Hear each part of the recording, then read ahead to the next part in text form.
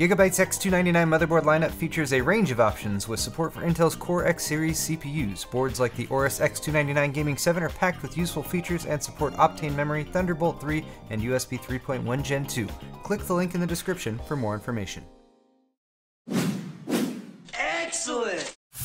What's up guys, how's it going and welcome to my monthly builds video for December 2017. Every month I come out with a couple parts lists that I share with you guys, give you my suggestions for what I think are good choices when it comes to building a PC if you're choosing your own parts, and uh, that is what this series is all about. I typically build one of the systems every month as well, so check out my builds playlist if you want to see me actually assembling some stuff. For today we're just going to be going over parts lists. And uh, I wanted to point out that we're actually going to be going over a couple of last month's part lists. I did them at the towards the end of November, um, and it's changed. It shifted around just a little bit. I also want to point out that I usually have a, a, straw poll for you guys to give feedback in. I'm not doing that this month simply because next month in January there's still a lot of stuff up in the air that I'm not really sure about. So I'm going to delay things. We'll do a reset when we come back to that. But uh, fear not, your feedback will again be part of my monthly build series when that when that happens. Now last month I had two builds, a $650 and a $1,150 builds, and they were both AMD based and they both had like swappable parts. So you could take some of the more expensive parts from the more expensive build and some of the less expensive parts from less expensive build, swap them around to kind of find yourself a mid-range. Now because my recommendations this month haven't changed that mu much since last month, but some prices have, I'm gonna re I'm gonna go over those two builds one more time. We'll take a look at what has happened to pricing since then, and also maybe some suggestions for those of you who are maybe a little uh, disillusioned with the with the PC uh, building a PC and how much money it can, it's costing right now. So here is my $650 build, which is now uh, crept up to 700-ish dollars, and that's due to some of these products that were on sale for the Black Friday and Cyber Monday timeframe not being on sale anymore. So the Ryzen 3 1200, for example, was less than $100. In fact, you were able to get the 1300X for $99 a week or so ago. That's jumped back up to 109. Uh, the B350 mo motherboard that I had chosen for around 80 bucks is now up to 102. You can still find very viable B350 motherboards for around $80, so I would definitely check that out rather than going with this. In fact, let's see if I can swap that out real quick, well, real quick, and see uh, what's going on here with the B350 motherboard landscape. Uh, oh no, there's A320s in there. We have to filter those out. So here's your B350 board, starting at around 60 bucks, going up to around uh, 80, 90, creeping up into the $100 range just a little bit here.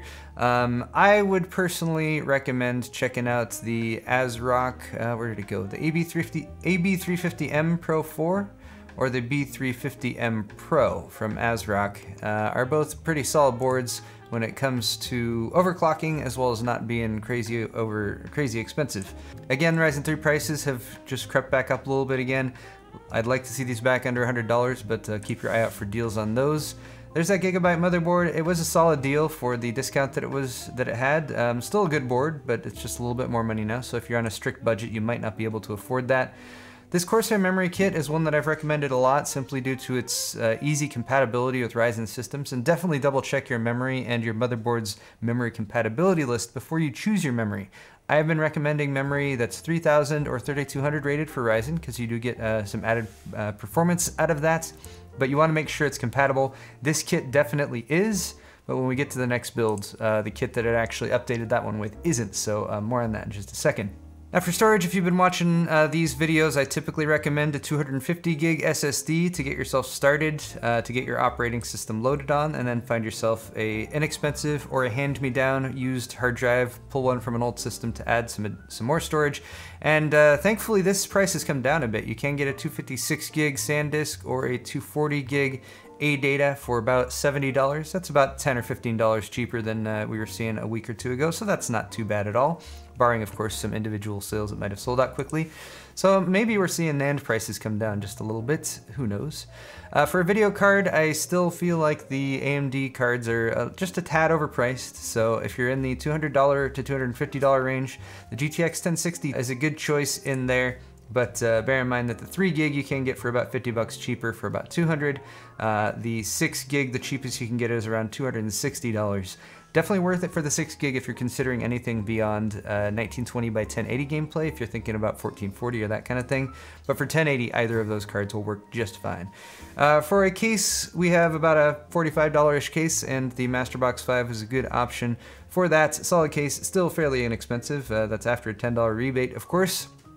And there's other cases in the $55 range that you could argue about that might be better, but uh, pick whichever one you think looks best, because aesthetics, that's kind of where you can choose your aesthetics, is when you're picking out your case. Uh, for a power supply, we have an 80 plus bronze rated unit from Corsair. It's only about $50. Uh, looks like it's out of stock at Amazon, but you can get it at Newegg right now. And I chose this one simply because it's 550 watt, which should uh, cover the jobs that the vast majority of computers need right now when it comes to uh, the amount of power that's required. And then it's also got, uh, it's not modular, but it does have all black cabling that's attached. So um, you're not gonna have any ugly looking ketchup and mustard cables. That's all for that uh, initial build. Again, it was about $650 last month. A little bit more expensive this month, but uh, there are still some deals going on since the beginning of December, and um, you know people are still buying stuff for the, the holidays and Christmas. So uh, keep your eye out for deals, I guess is what I'm saying, and um, lament the fact that you didn't purchase stuff last week if uh, the thing that you wanted that was on sale is no longer on sale. Next up, again, a rehash of November's is the $1,150 build, and that has crept up to $1,215, so about 65-ish dollars more. Some of these are still the same price, so this Ryzen 5 1600, uh, $190. It, it, did dip down a little bit below that uh, in the past week or two, but uh, that's still a very good price for your 6-core 12-thread Ryzen 5. Uh, this ASRock X370 board is still the same price, so it's still a pretty good deal for an X370 at 130 bucks. Uh, here's the parametric filter I used for the Corsair memory, so let's jump over to that. First off, look, there's your 1600, only $190. Maybe that'll be, uh, go to Micro Center if, uh, if you really want a deal on a CPU. They have a CPU and motherboard combos you can get usually 20 or 30 bucks off with. Uh, there's that ASRock motherboard. Look, it's got a $20 mail-in rebate if you get it at Newegg. And here's my parametric filter, which is one of the features from PC Part Picker, Part Picker uh, which is where I just told it, hey, uh, I want Corsair memory, I want it to be either 3000 or 3200 speed, and I want a 16 gig kit, 2 by 8 gigs. Uh, if you filter those down, um, you might get the Corsair Vengeance LPX kit, um, or you might get, the, for instance, the Vengeance LED kit. This kit is not at least in my experience, you might want to double check again your motherboard compatibility. This, this is not as compatible with Ryzen as the other stuff, the standard Vengeance LPX kits. So do double check that and make sure if you're using the parametric filter or if you're going by my lists, always do a little bit of reality checking to make sure that your memory is going to be compatible. Moving right along, we have uh, storage. Again, I was looking at storage based on price per gigabyte, as well as seeing what you could get if you're spending a little bit more. Now, that 250 gig one was about $70. Uh, you got to pay about 50 bucks more to get yourself into that uh, double that that storage range, 480 to 500 gigs. But uh, for $130 and a price per gig of 27 cents, the SSD plus 480 gig is a pretty good deal right now. But again, uh, you know, if you're on the budget, you might not be able to afford that. But if you're spending a little bit more on your system, then definitely keep that in mind. Bit, a little bit better price per gigabyte on the 500 gig versions. For video card, for this uh, particular build, I've just chosen a GTX 1070, and I've chosen to get the cheapest one possible. And unfortunately, they're $420, which might make you reconsider. Like, if you're looking at a 1070 for $420, definitely might be worth it to pay 30 bucks more for a $450 GTX 1070 Ti which is closer in performance to a GTX 1080 than a 1070. So yeah, the 1070 deals might not be your best bang for the buck right now, um, but still, uh, I guess maybe check a Vega 56 as well. You can see a Vega 56 for 400 bucks, then, then go for that. Uh, rounding out this build, the case I had chosen with the, was the Eclipse P400, but $80 was the uh, price budget for the case. Uh, and then finally the power supply, which was about $65, and that is an 80 plus gold unit since this is a little bit more expensive uh, of a system. And again, the price for this entire system coming in at uh, $1,215, at least right now, according to PC Part Picker. Um, so you do have compatibility there, but again, if you're looking, for example, at the more budget build, the 700-ish dollar build, and you're like, oh, I want that, but I want uh, I want I want the Ryzen 5 1600 instead of the Ryzen 3 1200, then you can pay an extra $80 and get that and swap it in. Part of the reason why I've recommended AM4 and why I've been recommending AMD builds right now is simply because they have an upgrade path. Uh, they have an upgrade path going into next year. AMD has promised AM4 is going to stick around. We're probably going to see Zen 2 CPUs launched on the same platform. I can't promise you that, but um, everything we've been told seems to indicate that. And uh, when you're comparing right now the actual raw CPU uh, performance that you get um, with Ryzen's 6 core and 8 core processors compared to what you get on the mainstream Intel side, it's just kind of no contest uh, when it comes to bang for your buck. Okay, I've got one more build for you guys, and this one is definitely a gaming focused build. If you are gonna do other stuff besides gaming, which includes uh, maybe video editing, or if you're gonna do 3D animation, or if you're gonna be gaming and streaming at the same time, this might not be the most viable build. I would recommend going with that Ryzen 1600 build that we just covered moments ago. But this is actually a uh, Intel 7700K base system, and that is solely due to the fact that the 7700K can be had for a pretty decent discount if you compare it to what it was selling uh, for before uh, this most recent launch of the Coffee Lake stuff. So um, combine that with some reasonably priced Z270 boards, and you can get yourself a pretty powerful gaming system. Uh, you're gonna have a quad-core, eight-thread CPU, and then the uh, graphics card I've chosen for this is a GTX 1070 Ti. Of course, you could swap that for a 1070 or a 1080 if you wanted to spend a little bit less or a little bit more money, and then also gets um, a little bit less or a little bit more GPU performance. But overall cost of this is around $1,250, so it's a little bit more expensive than that R5 1600 build that we just came across. But it does feature the i7 7700K, which is a really good overclocker and an excellent, excellent gaming uh, processor. So if you're gonna pair this with a high-end graphics card, in uh, most situations, you're gonna be getting the most you can out of that high-end graphics card. And it's good to see that whereas the typical price of this is somewhere in the 340 to $350 range, uh, you can get it for around $290 right now. Again, less of a bargain when you compare it to some of the AMD stuff that's out there, but um, for Intel, uh, hardcore Intel users or people who again are just purely focused on gaming, it's still a good option. The Cryorig H7 is a very good CPU cooler. Uh, it's pretty simple to install and does a very good job and looks nice to boot. So uh, less than $30 at uh, Newegg Marketplace right now. Uh, Asus Prime Z270-A motherboard, really solid motherboard. Just just look at them ratings available for less than $150 right now. You can even get a couple mail-in rebates for it, uh, and it's got support for like all, all the good things, including a couple M.2 slots on there, as well as one M.2 slot that is also compatible with SATA. M.2 devices. Uh, more on that in just a second. I went to 2x8 gig memory kit for this. It's a little bit lower, slower speed memory because that's not going to impact your performance on the Intel platform as much as it will uh, on the AMD platform, at least with Ryzen. Uh, and memory prices are probably the main thing that's keeping these overall prices of these builds really high right now. So $145 is a good deal right now for a 2x8 gig kit of DDR4 2400 memory. That's a team kit and you know, it's very small picture there, but it's black and silver, so it'll look okay. And then we have our storage, of course. This is an ADATA Premier SP550, 240 gig. It is an M.2 drive, but uh, it is SATA, so um, we have to make sure that our M.2 slot on the motherboard is compatible with SATA. A lot of them uh, will have legacy backward compatibility with SATA as well as compatibility with uh, NVMe. Um, so just double check that the as or the Asus motherboard that we're using does.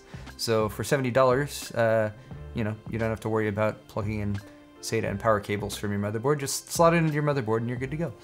Uh, 1070 Ti's uh, you can actually get for MSRP right now. At least uh, $450 is what those were told to be selling for, and that's what they actually sell for. So there you go.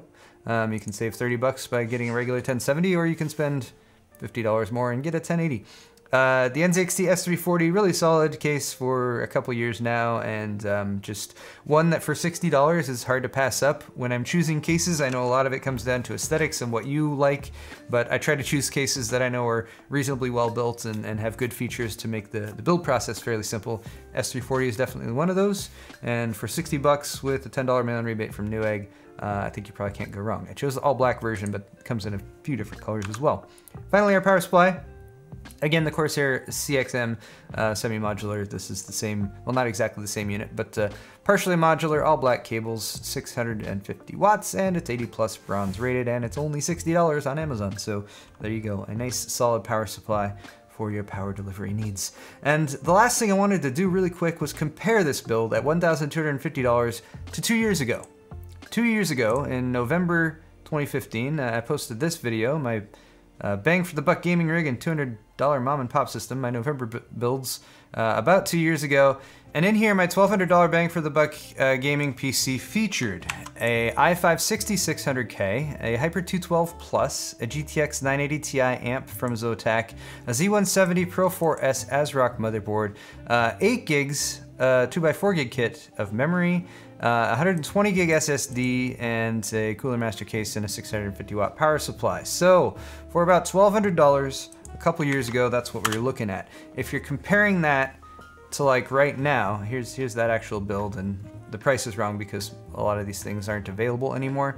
But if you're comparing that to right now, it's a good example of why it kind of feels like the PC market, with as exciting as it's been with all the product launches this year, has overall remained somewhat stagnant when it comes to the actual price that you're paying. Compared to this system, you're uh, comparing this system to the $1,250 system right now, you're getting a 7600K instead, instead of 7700K instead of a 6600K. So we've jumped up to hyper-threading. You're getting roughly the same caliber of CPU cooler, motherboard. Uh, you're getting twice as much memory, but it's for almost twice as much money, so that's not much of a difference. Uh, and you're getting a bit more capacity on the SSD and you're getting a 1070 Ti instead of a 980 Ti for a bit less money. So there are some advancements that have happened that have made things a little bit more affordable here and there, but hopefully come 2018 we'll see NAND prices start to come down a bit more, so we'll actually get better pricing on both SSDs as well as memory. I think that combined with the competitive marketplace that the introduction of Ryzen has created will get us to a point where we're gonna have some really good uh, budget PC options next year. For now, if you're buying in 2017 for the end of the year, definitely keep a close eye out for any of those last minute deals because there will be vendors trying to clear some stuff out.